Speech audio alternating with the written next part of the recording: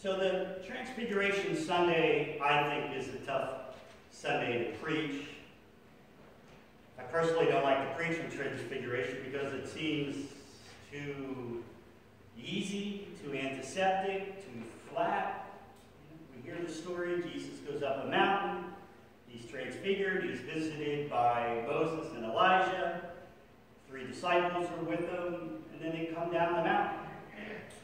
And I don't know about you, but in trying to come up with something that I can relate to in this text, I seem to come up empty. And yet this is such an awesome, if not awe-inspiring event. It leaves us transfixed, but sadly, it's not going to last.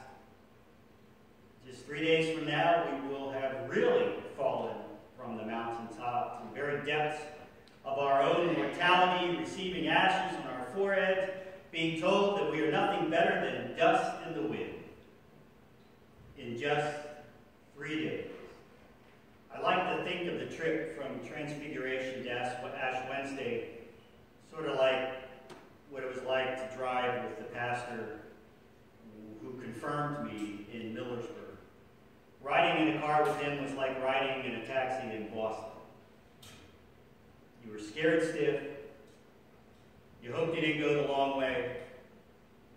And you it. That's transfiguration to Ash Wednesday, plummeting to our death, so to speak. And that's our journey until Wednesday, from the mountaintop to the rocks below, from exaltation to rock bottom. Of course, isn't that how Lent should be? There's so many questions about the Transfiguration event. Questions like, why were there only three disciples invited to this event? Where were the other nine? Where was Andrew? He's usually included, included in the big four. Here we just have Peter, James, and John. Where, what were they doing? Buying groceries. Who knows? Why does Peter blurt out something silly about building three booths? Except, of course, Peter is the one who usually says something sort of impetuous, who's not afraid to say what's on his mind, but building booths. And why does Jesus tell the disciples who were with him not to tell anyone? What is this messianic secrecy? Or is Jesus just using reverse psychology. If I tell them not to tell anyone, maybe they'll tell everyone.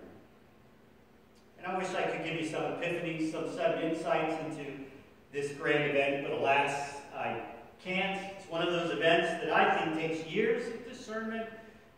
And still, we may not really appreciate the majesty of the transfiguration, but it, it seems fitting at the end of Epiphany as we now embark on this long and ponderous discernment and discipline of Lent. But I think of those three disciples on that mountain, probably, I think the one, God, the one gospel account says, you know, they were heavy with sleep, and they witnessed this transformation, and their mouths were just hanging open. They're looking at each other like, did you see that? Was it immediate recognition? Or was it just another event where they leave scratching their heads, not sure what to make? Have you had one of those experiences, something that you witnessed, that it just left you speechless? Sort of scratching your head, like, what did I just see? Fritzy and I, our first apartment was here on Hummel Avenue in the 900 block, right after we got married. And uh, the house was probably built in the 30s or the 40s. Uh, it had those windows with the heavy weights in the, in the side of the rope that sort of the counterweight to opening the window. It was, I guess, to keep the window open. But to close it, you had to just about stand on top of it, you know?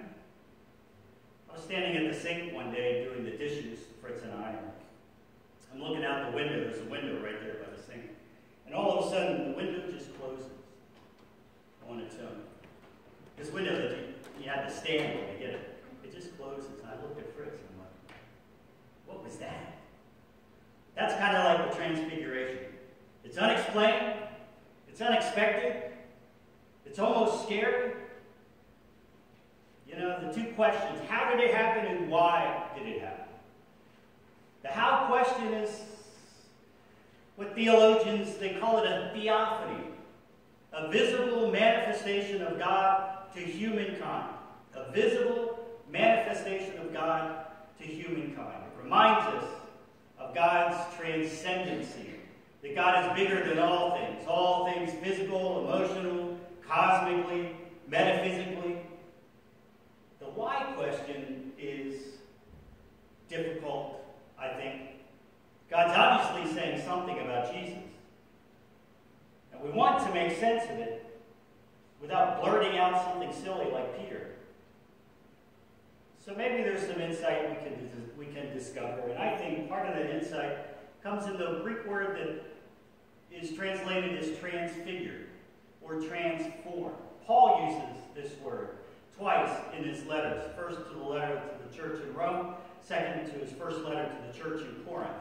To the letter to his to, in his letter to the church in Rome, he says, Do not be conformed to this world, but be transformed by the renewing of your minds.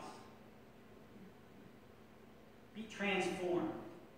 Do not conform to this world. Be transfigured. Be transformed in the renewing of your minds. Then he says in First Corinthians, I'm sorry, Second Corinthians, his second letter to the church in Corinth, he says, All of us are being transformed into the same image from one degree of glory to another, for this comes from the Lord, the Spirit. Paul's use of this word, I think, helps us to understand gives us something we can take into the future, our future experiences. In other words, we are to allow the presence of the Holy Spirit. That same Holy Spirit that was infused in us in our baptisms, the same Holy Spirit is supposed to lead us and guide us to the transforming of our mind. And in turn is supposed to lead us and guide us in the transforming of our very personhood. Or in other words, it's a continual action, day by day, year by year, ongoing action throughout our lives, slowly.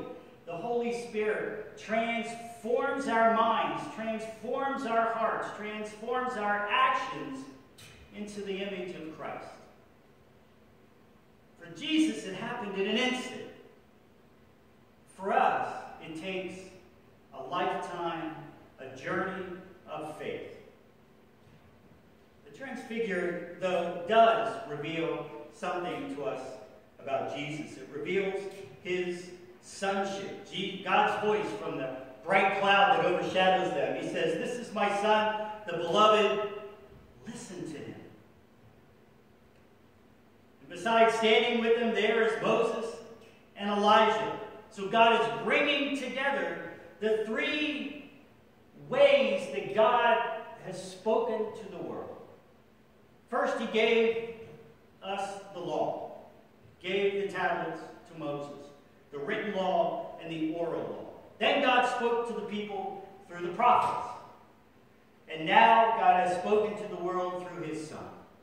So in this one single act, this transfiguration, God presents to us the oneness of God's spoken word, word to all the world. And following the resurrection, the final expression will be the giving of the Holy Spirit to the disciples and to the world. Which means, like Jesus, coming down that mountaintop, telling the disciples not to tell anyone, he goes right back into the midst of humanity. He joins the depths of humanity, the depths of sin, and suffering, the miracles and the joy. And he joins us today in this mixed soup of emotions we call America 2017.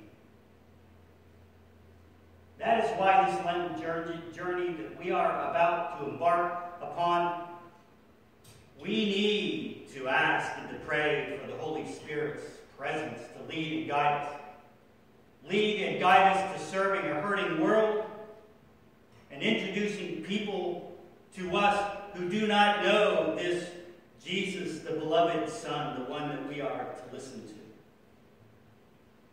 That's part of my challenge, the 50 to Trinity by Trinity, the 50 shakers of salt, the 50 points of light. Because as I see it, there are so many people walking around who have that look on their face like the disciples having just witnessed the transfiguration. Why do people look so scared and confused and shocked? I'll tell you what.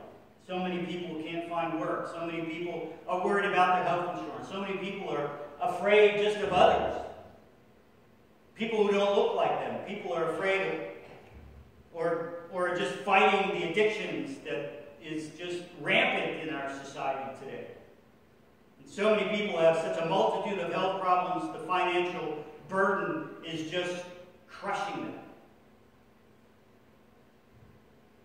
And they don't know where to turn. And so we need to invite people to come and see this Jesus of the mountaintop, the transfigured Jesus, the glory of the Lord. And you may laugh at my 50 points of light and my 50 shakers of salt, but I'm telling you that there are a lot of people who feel as if salt is just being rubbed into their wounds of this world. People who feel like their light has been snuffed out. And if you, my friends, if you and I believe that we have been blessed by Jesus, that through the Holy Spirit we have been blessed as salt of the earth and as blessed as light of the world, then we need to allow the Holy Spirit to work in our lives and to slowly bring about that transformation, that transfiguration into the likeness of Christ. And so we pray that the Holy Spirit does lead us and guide us to people who are at rock bottom who need a glimpse of the mountaintop, the jobless, the fearful, the hopeless, the hungry. And with the help of the power of the Holy Spirit, we can show them the mountaintop. The glory of the Lord. Martin Luther King Jr., one of his final speeches was called, I've Been to the Mountain. I want to read a quote. Martin Luther King said, God's allowed me to go up the mountain and I've looked. And I've seen the promised land. And I want you to know that we as a people get to the promised land. I'm not worried about anything. I'm not worried, I'm not afraid of any man. Mine eyes have seen the glory of the coming of the Lord.